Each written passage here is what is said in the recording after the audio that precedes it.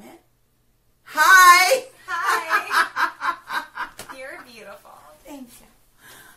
So this is Belle, This is Allie. and we are here from PopCultureUncover.com, Okay. and we are here with our drunk review for Black History Month, mm-hmm. and we are going to talk about the amazing, the amazingly sexy, the voice of a generation, the one, the only, Alright. Khary Payton. Woo! Just saying this name makes me all warm.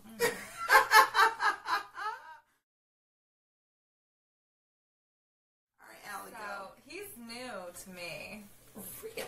He is new to me. That's right. uh, because of The Walking Dead brought him into my life, and And we were all blessed. oh my lord, or oh my king, Oh, yes. oh my king, Oh, my king. oh my king, Oh, oh my king, oh my king Ezekiel.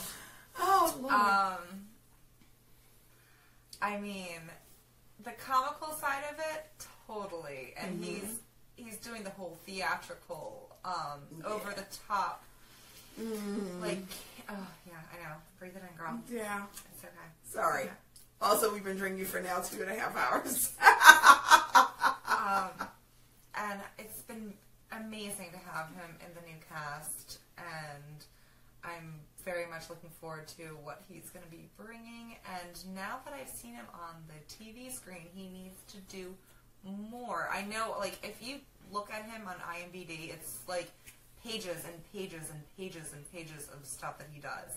But I want to see his face more. Yes. See, I knew about Khary Payton Yeah. from Young Justice and from uh, Justice League as Cyborg. And Justice League, he was a Cyborg, and on Young Justice, he was And Teen Aqualad. Titans.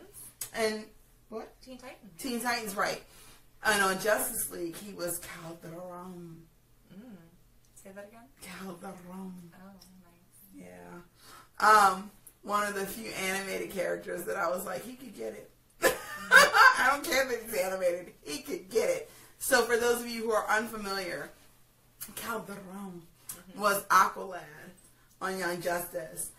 And uh, that's how I knew Khary. And uh, I, his voice was so, his voice work was so impressive. And it matched the character so perfectly that I actually had to look up who he was in real life. And you don't usually do that with voiceover artists.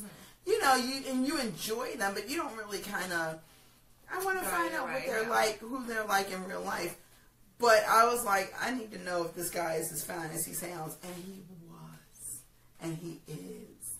So for me, and then there's also he's been in so many video games that it would actually be too. It would actually be too many to list.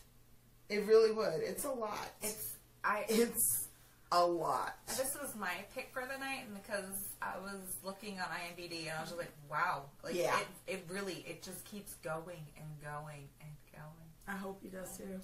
Yeah, I said it. sorry. I'm not I'm sorry. so.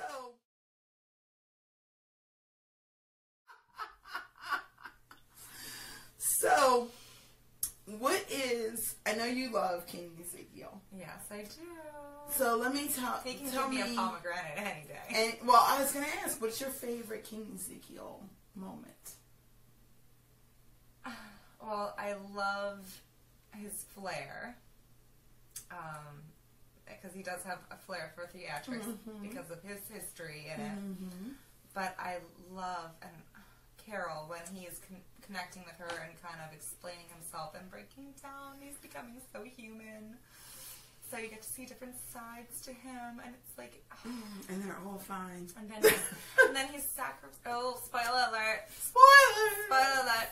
Um, he sacrifices himself, Mm-hmm. and it's like, oh my god. Mm-hmm. So. Mm, So not one moment, just the buildup of the character over the and, season. and like everything. I mean, he's always so amazing to watch. Yeah. Um, yeah. It's not a lot of behind, voiceover behind the scenes with him as Yes. well. Yeah. Like you just love him as a person because Mhm. he's so witty and like charismatic. Yes. Like he's. He's He like- draws he's- like, you He seems like to such a wonderful person. Like I would love to sit down with him with like a bottle of wine Yeah. and just. I will say that like if the Walking Dead com the show goes the way of the comics, that they are going to lose a major charisma factor because he's just he draws you in from the way he moves. Could they be keeping him instead of somebody else? I have a feeling that they probably are, but that's that we'll find That's a out. whole nother. That's a whole other trunk reveal. Yeah. Um, but he is he just draws you in. I know my favorite. There's so many episodes of Young Justice that that- Young Justice. First of all, if you haven't watched Young Justice, Do it. yeah, what are you waiting for? Secondly, especially do it now before you know Warner Brothers starts their own streaming service, which is a whole other ball of wax that we'll get into in another podcast. But if you haven't been watching Young Justice, my favorite arc, and there's so many, he was so phenomenal in that show. But my favorite arc is when Kaldur'ahm goes basically undercover with Black Manta. And if you guys aren't familiar with Aquaman and Black Manta and Aqualad, first of all, go pick up a comic book. And secondly, it is one of the most well written arcs for a TV show, not just an animated show, but for a TV show, period. And he is so good in that part, in that entire arc. It's weird to say that an animated character shows so much range, but because of what he infuses the character with, the character shows so much range, so much growth throughout the entire arc that you just you don't know. You just don't know where it's going. You you hope for the best, but because he's so deep in the undercover thing, you honestly don't know if he's gone native or if he is still remembering what he's there for. And to me, that's great acting. And it's not a lot of voiceover artists. A lot of voiceover artists, I feel like voiceover artists are not giving enough credit for what they do.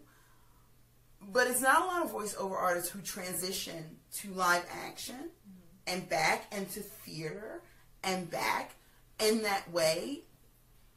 He's only been nominated twice, but I feel like, especially now that he Yeah. doesn't have a face on the screen, Yeah. I feel that's going to play a lot more into I his nomination. I hope he becomes huge. I hope he becomes Idris Elba huge because Idris Elba was another one who was underground for quite some time, and we'll get back to his fine self later. For quite some time before The Wire, and I hope Khary Payton becomes that kind of huge. Um, he's been around in the game. He's been in the game for quite some time, and his current accolades are quite well deserved. So if you're not watching The Walking Dead, and if you haven't seen Young Justice, if for no other reason, go check them out for Khary Payton because he is worth it. And go check out all his video games because even if the games are crap, he's fantastic in them. His voice is It's worth it. It's worth Yeah. it. And on that note, this is Belle, This is Allie. and this is a Drunk Review Black History Month edition. Thank you for joining us. Ciao. We'll check you on the rebound. Okay. What are we on? What are we drinking? Oh goodness. Okay, bye y'all. You can find us on Oh, we can find us at popcultureuncovered.com. Twitter. PC Uncovered on Twitter and Instagram, and Pop Culture Uncovered on Facebook.